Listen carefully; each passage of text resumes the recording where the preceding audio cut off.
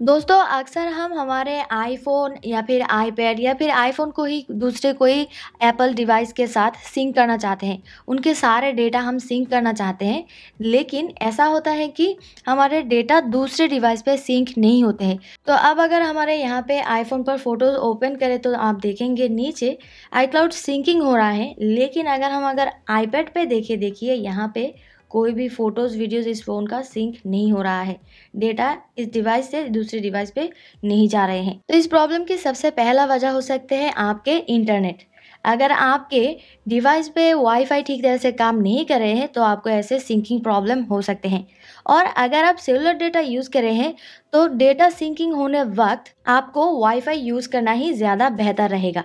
दूसरा प्रॉब्लम हो सकते हैं आपके एप्पल आईडी अगर आपने अपने दोनों डिवाइस पे अलग अलग एप्पल आईडी यूज़ कर रहे हैं, लेकिन आप ये चाह रहे हैं कि आपके आईफोन के फ़ोटोज़ वीडियोज़ आपके आईपैड या दूसरे एप्पल फ़ोन पे सिंक हो जाए तो ऐसा नहीं हो सकता इसलिए आपको जो करना है, दोनों डिवाइस पे सेम एप्पल आई यूज़ करना है।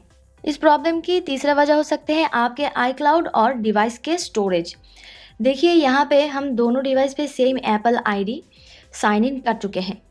लेकिन फिर भी हमारे डिवाइस पे फ़ोटोज़ वीडियो सिंक नहीं हो रहा है। इसका कारण है ये स्टोरेज यहाँ पे देखिए, हमारे यहाँ पे आईपैड पर फ़ोटोज़ का सिंकिंग ऑफ़ है।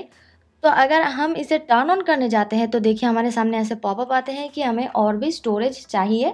कि हमारे आईपैड पे जितने सारे फ़ोटोज़ हैं, ये ऑलरेडी आई क्लाउड पर सिंक होने की कोशिश कर रहे हैं। लेकिन हमारे आई क्लाउड का स्टोरेज जो है, वो ऑलमोस्ट फुल हो चुके हैं, जिसलिए हमारे आईपैड का फ़ोटोज़ वीडियोज़ वहाँ पे सिंक नहीं हो पा रहे हैं। तो इसलिए हमें जो करना है, यहाँ पे आपको अपग्रेड ऑप्शंस पे टैप करके आप चाहे तो आई क्लाउड का स्टोरेज अपग्रेड कर सकते हैं।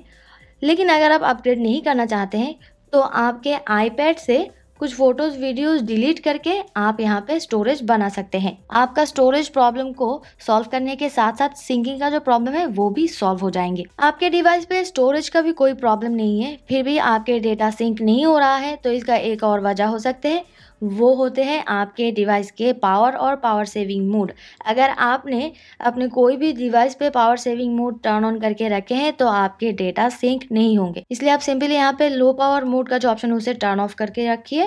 अगर आप किसी डिवाइस पे low power mode turn on नहीं भी करके रखे हैं चार्ज कम होने की वजह से भी ये सिंकिंग प्रॉब्लम हो सकते हैं। अगर आप अपने दोनों डिवाइस को चार्जर के साथ कनेक्टेड रखेंगे तो ये जल्दी जल्दी सिंक करने में आपको बहुत मदद करेंगे। ये सब कुछ करने से ही आपके एक एप्पल डिवाइस से दूसरे एप्पल डिवाइस पे डेटा सिंकिंग का जो प्रॉब्लम है, वो ज़रूर सॉल्व हो जाएँगे।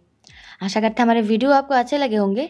हमारे वीडियो देख के आपको हेल्प हुआ है तो वीडियो को एक लाइक कर दे शेयर कर दे और हमारे चैनल को सब्सक्राइब करना बिल्कुल ना भूलें। धन्यवाद।